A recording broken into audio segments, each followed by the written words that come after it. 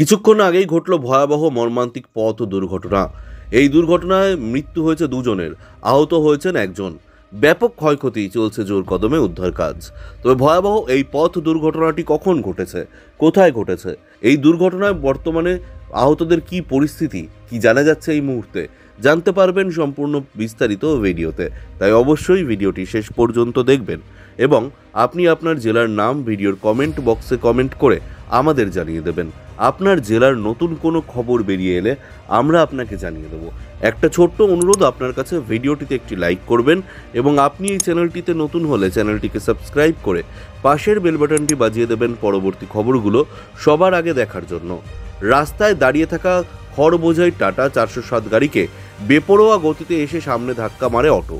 এর জেরে মৃত্যু হলো অটো চালক সহ এক যাত্রীর। মৃতদের নাম তাইজুল শেখ ও রিয়াজুল শেখ। তাইজুল শেখের বয়স আটত্রিশ এবং রিয়াজুল শেখের বয়স আঠাশ বছর। আহত হয়েছে আরও যাত্রী। নাম আমিন শেখ। ঘটনাটি ঘটে বৃহস্পতিবার সকাল পাঁচটায় বারুইপুর সাহাপাড়া মোড়ে। এর জেরে এলাকায় উত্তেজনা ছড়িয়ে পড়ে। আহত যাত্রীকে উদ্ধার করে বারুইপুর মহকুমা হাসপাতালে নিয়ে আসা হয়েছে। সেখান থেকে তাকে কলকাতার চিত্তরঞ্জন হাসপাতালে পাঠানো হয়েছে। বারুইপুর থানার পুলিশ ঘটনাস্থলে গিয়ে গাড়ি দুটিকে বাজেয়াপ্ত করে। টাটা চারশো সাতের গাড়ির চালক পলাতক। পুলিশ জানিয়েছে মৃত তাইজুল অটো চালক। তাইজুল আর রিয়াজুল সম্পর্কে দুই ভাই।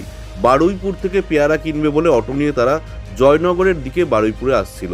সাহাপাড়া মোড়ে রাস্তায় দাঁড়িয়েছিল টাটা চারশো সাত গাড়িটি।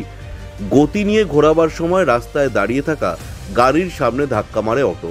নিহত ও আহতদের বাড়ি জয়নগরের বামুনগাছির কাশীপুরে। বারুইপুর থেকে পেয়ারা কিনবে বলে অটো নিয়ে তারা জয়নগরের দিকে বারুইপুরে আসছিল। সাহাপাড়া মোড়ে রাস্তায় দাঁড়িয়েছিল টাটা চারশো সাত গাড়িটি। গতি নিয়ে ঘোরাবার সময় রাস্তায় দাঁড়িয়ে থাকা গাড়ির সামনে ধাক্কা মারে অটো। নিহত ও আহতদের বাড়ি জয়নগরের বামুনগাছির কাশীপুরে। পুলিশ দেহ দুটি উদ্ধার করে ময়না তদন্তের জন্য পাঠিয়েছে।